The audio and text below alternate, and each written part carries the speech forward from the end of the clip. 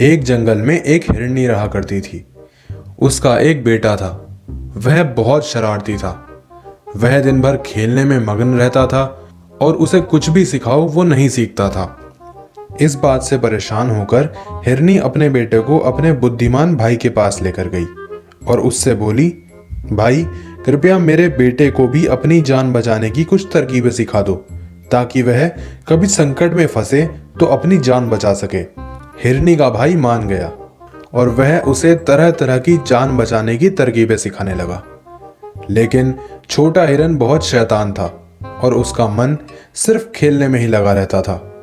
जल्द ही वह कक्षा से गायब रहने लगा और उसने बचाव की कोई भी तरकीब नहीं सीखी। एक दिन खेलते खेलते वह जंगल के एक छोर पर पहुँच गया। वहाँ घूम रहे कुछ शिकारियों ने उसकी ओर देखा। उसे देखते ही उन्होंने अपना तीर निकाला और निशाना साध कर छोड़ दिया। वह तीर जाकर सीधे छोटे हिरन को लगा और वह वहीं तड़प तड़प कर मर गया।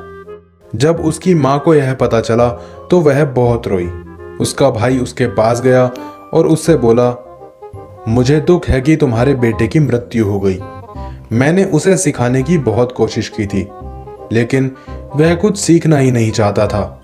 अगर कोई विद्यार्थी सीखना ही नहीं चाहे तो शिक्षक उसे नहीं सिखा सकता।